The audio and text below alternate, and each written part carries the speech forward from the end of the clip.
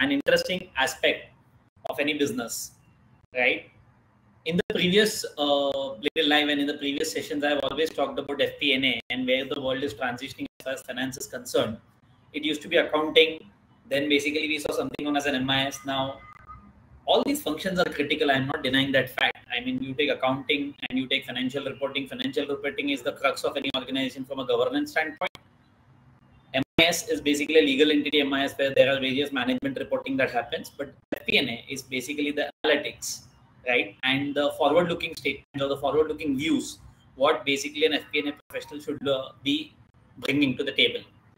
Now, one of the most important aspect in any organization, what an FP&A professional should look at, cash conversion cycle.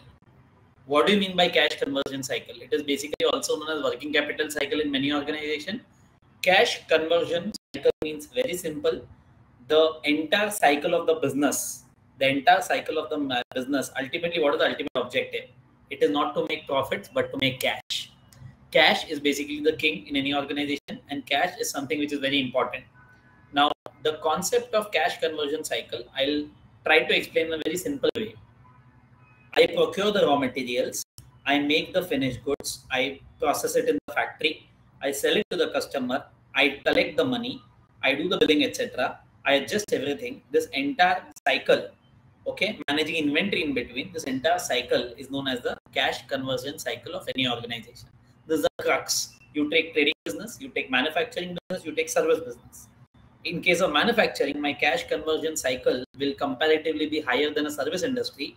My trading business will have comparatively shorter cash conversion cycle as compared to manufacturing industry. But it is very important to look at this conversion cycle because in trading, the concept is very simple. How many times in a year are you able to rotate your cash? That's the crux because that many number of times you can multiply your margins and basically have an incremental margin leverage. In case of manufacturing, it's all about managing your cash flows, managing your conversion cycles. You purchase a raw material, you process it, you build inventory, you sell the finished goods, you go to customer, you bill it, you build the Uh, uh, you bill the money. After that, you collect the money. It completes the entire conversion cycle. Okay. Now there are quite a few parameters which are very important to track as far as cash conversion cycle is concerned because I had given an analogy to all of you. One of the most important aspect for any FP&A professional is to start with budgets and a five-year business plan. Now, when you monitor the actuals against that budgets, one of the key parameters is to look at the cash conversion cycle, right? Now, cash conversion cycle, what are the various levers in any business that will impact this cash conversion cycle?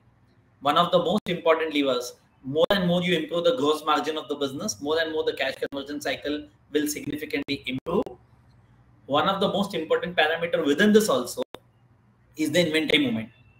If you rationalize your inventory, if you plan your inventory better, your gross margin obviously has to improve better. The second important lever is going to be fixed cost. More and more you improve the fixed cost, the conversion cycle is going to be better. And there are two to three important aspects of the business like a debtors turnover, how within how many days you are able to collect, within how many days you are able to pay, and within how many days you are basically able to recycle the inventory back to the business these are the three important aspects as far as ratio management is concerned. And would you believe all of these five parameters put together, okay, actually impacts your cash conversion cycle. Any levers that you modify, any levers that you change significantly as a CFO and FP&A professional, and you give the clarity to business, you can actually end up changing your operating cycle and operating policies of the company.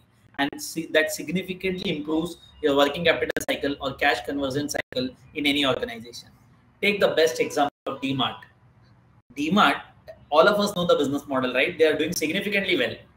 What is the USP of DMart? They are able to pay their vendors within 15 days. How? Ask me how. Simple. The inherent business model of DMart is basically they get immediate cash. To vendors, they are able to pay within 15 days because they get bulk discounts. Against that bulk discount, they are able to pay within 15 days and I'm able to collect immediately. They're able to manage the float very efficiently. They're able to pass on the discounts to the customers. That's why DMart operates in a very efficient way in a limited operating office space manner, unlike the large startups and large unicorns who basically take tons of office and large office premises and still make losses. That is not the model what DMart has. DMart basically operates in a very lean model. It's known as lean organization. They have a lean office, lean setup, lean retail setup. Customers come, they pay cash immediately. they get a bulk discount, they get a lot of discount, they use their working capital to procure goods where they get bulk discounts and they are able to pay the vendors within 15 days. The more and more efficiency you bring in to pay your vendors, your vendors will become a priority and you will become a priority for your vendor. If you become a priority for your vendor, your vendor will supply the raw materials and goods on time to you. That's very important to manage your cash conversion cycle, right? So the impact of cash conversion cycle plays a very huge role as far as any organization is concerned, be it service, be it trading, be it pharmaceutical, be it manufacturing. In services, you render the services, you choke your working capital, you have unbilled revenue. Only once you bill, it gets converted into debtors. That's a complete cash conversion cycle blockage which is there. More and you, more you track the unbilled revenue, more and more you track the collections, more and more you bring efficiency in billing process. That is going to improve the cash conversion cycle significantly, right? So one of the key aspect what we learned today as a FP&A professional and as a CFO, your focus has to be on cash conversion cycle on operating cash flows of the organization.